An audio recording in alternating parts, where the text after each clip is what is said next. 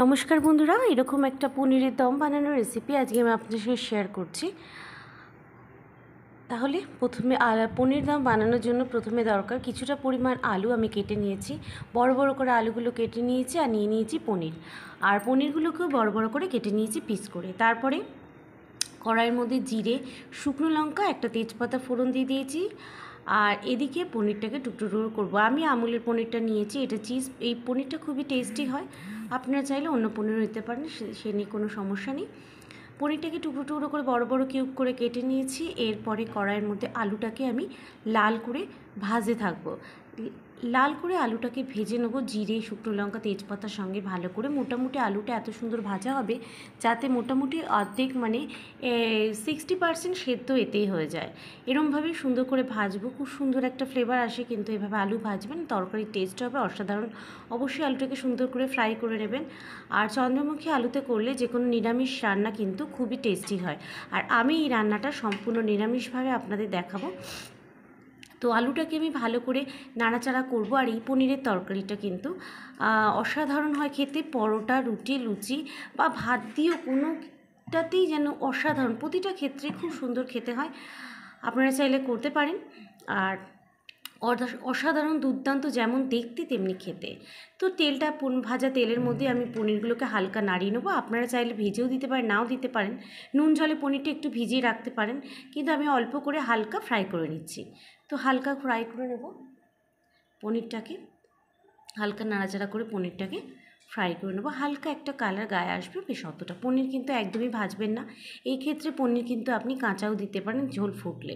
আমি হালকা একটু নাড়াচাড়া করে নিলাম। আর এরই মধ্যে আমাকে একটা পেস্ট বানাতে হবে, সেটা হচ্ছে বাদাম। আপনি কাজু বাদামও জানেন, নিতে পারেন নালে আমন বাদামও নিতে পারেন। আমি কিন্তু এক্ষেত্রে আমন বাদাম ইউজ করেছি।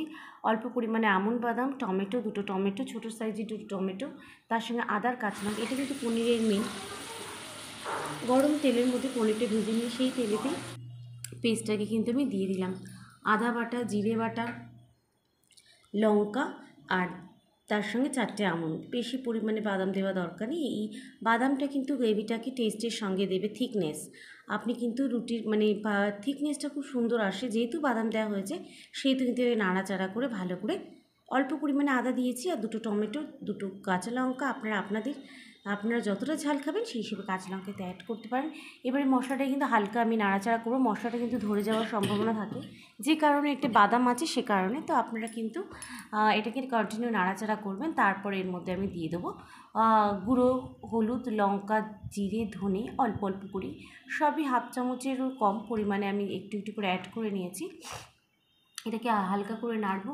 আর এরপরে হালকা নাড়াচাড়া করে দিলে তেলটা ছাড়লে যেহেতু ভাজতে বেশিক্ষণ সময় লাগবে না, আলুগুলোকে দিয়ে আবার নাড়াচাড়া করব। এতে করে হবে কি, আলুগুলোর মধ্যে মশলাটা ঢুকেও যাবে, আবার খুব সুন্দর একটা টেস্ট হবে আলুটার। তো যেহেতু এটা পনিরের দাম, সেহেতু আমি ঢাকা দিয়ে দিয়ে এটাকে কষিয়ে নেব, ভালো করে আলুটাকে ভালো করে কষিয়ে নেব। আবার এটাকে কষতে কষতে এর মধ্যে দিয়ে দেবো কিছুটা পরিমাণ চিনি, এক চামচ পরিমাণ চিনি দিলাম, চিনিটা কিন্তু যথেষ্ট টেস্ট আনে। এক চামচ এক চামচ একটু কম পরিমাণ চিনি দিয়ে দিলাম। আর এর মধ্যে অল্প জল দিয়ে দিয়ে নাড়বেন, কারণ তা না হলে কিন্তু বাদাম যেহেতু হয়তো ঝরে যাওয়ার সম্ভাবনা থাকে, আমি অল্প পরিমাণ জল দিয়ে দিয়ে আলুটাকে ভালো করে কষিয়ে নিচ্ছি। দেখতে পাচ্ছেন কি দারুণ কালারটা এসছেন একটুখানি শুকনো লঙ্কা গুঁড়ো, একটু ধনে গুঁড়ো, হলুদ গুঁড়ো, ওটা জলে ভিজিয়ে আমি দিয়েছিলাম যে কারণে এত সুন্দর কালার এসেছে। এবারে দিয়ে দিলাম এক চামচ নুন, নুনটা দিয়েও ভালো করে নাড়াচাড়া করব। নুনটা কিন্তু একদম প্রথমে দেবেন না এই আধা মানে কষা একদম শেষ হয়ে আসবে প্রায় সেই সময় একটু নুন দেবেন। আর দেখুন আমি কিন্তু সেই বাটি মিক্সি বাটি ধোয়া জলটা কিন্তু একটু একটু করে এতে মেশাচ্ছি যাতে করে মশলাটা পুড়ে না যায় আর সুন্দর একটা টেস্ট হয়। সুন্দর করে নাড়াচাড়া করতে হবে। আর এই তরকারিটা অসাধারণ খেতে হয়। বন্ধুরা, আপনারা একবার ট্রাই করবেন, তাহলেই বুঝবেন কতটা ভালো হয়। খুবই সিম্পল বইতে রান্না, কিন্তু খুব সুন্দর লাগে এটা খেতে, অসাধারণ লাগে। আর এর মধ্যে মিশিয়ে দেবো একটুখানি। কিচেন কিং মশলা, এতে কিন্তু ফ্লেভারটা খুব সুন্দর আসে আর টেস্টও অনেক বেড়ে যায়। কিন্তু আমি আর ঘি দেবো না। ঘি দিয়ে এটাকে নাড়াচাড়া করব। পনিরের যেহেতু তরকারি, তাতে কিন্তু নিরামিষ, তাতে একটু ঘি দিলে অসাধারণ হয়। আর আমি কিন্তু মশলার সঙ্গে অল্প পরিমাণ দুটো এলাচ, একটুখানি দারচিনি অবশ্য বেটে নিয়েছিলাম। আপনারাও মিক্সির মধ্যেই সেটা দিয়ে দেবেন, একেবারে বাটা হয়ে যাবে। গরম মশলাটা দিলে এটার ফ্লেভারটা খুব সুন্দর হয় আর খাওয়ার টেস্টটা অনেক বেড়ে যায়। তো আমি জল দিয়ে দিয়ে কষিয়ে নিচ্ছি, এটা কিন্তু ধৈর্য দিয়ে কষাবেন, যেহেতু নিরামিষ তরকারি, এতে কিছুই খুব একটা পড়ছে না। আর মশলাও তো দেখলেন কি কম পরিমাণে দিলাম, সেক্ষেত্রে কিন্তু আপনাদের এই স্টেপটা অবশ্যই করতে হবে। অল্প অল্প করে নাড়াবেন যাতে আলুটা মাখা মাখা মানে একটু একটু গলা গলা হয়ে যায়। চন্দ্রমুখী আলু হলে খুবই ভালো হয়। নাহলে জ্যোতি আলু দিয়ে যদি করেন, তাহলে কিন্তু হালকা ভাপিয়ে নেবেন আলুটা। সেক্ষেত্রে বেশি ভালো হয়। বা নুন দিয়ে ভেজেও নিতে পারেন। এটাও একটা ভালো পদ্ধতি। নুন অল্প মানে আলুটা ছেড়ে একটু নুন দিয়ে যদি ভাজেন, তাহলে কিন্তু আলুটা খুব তাড়াতাড়ি সেদ্ধ হয়ে যায়। আর আলুটা কিন্তু ফট করে কড়া লাল হয়ে যায় না। তো সে কারণে এটা এভাবেই করতে হবে। আর এই তরকারিটা যে কেউ খেতে পছন্দ করবে, ছোটো থেকে বড় সবাই পছন্দ করবে। এতে কিন্তু একটু গুঁড়ো লঙ্কা আমি দিয়েছি, যার জন্য কালারটা এত সুন্দর হয়েছে আপনারাও কিন্তু গুঁড়ো লঙ্কা অল্প ইউজ করবেন। অল্প কিছু দিলে কিছুই হয় না, অল্প পরিমাণে গুঁড়ো লঙ্কা ইউজ করে নেবেন। আর আলুটা কিন্তু দেখুন মশলার জলের সঙ্গে একটু একটু করে ফুটছে। মোটামুটি তরকারিটা আমার হয়ে এসছে কিন্তু আমি অল্প অল্প করে মাঝে মাঝে নাড়িয়ে দিচ্ছি। যতক্ষণ না কমপ্লিট হবে ততক্ষণ এটাকে আমি নাড়াতে থাকব। অল্প পরিমাণে গরম জল অ্যাড করে দিয়েছি। জল আপনারা যতটা চাইবেন সেই হিসেবে অ্যাড করতে পারেন। অতিরিক্ত জল দেবেন না, হালকা পরিমাণে জল দেবেন।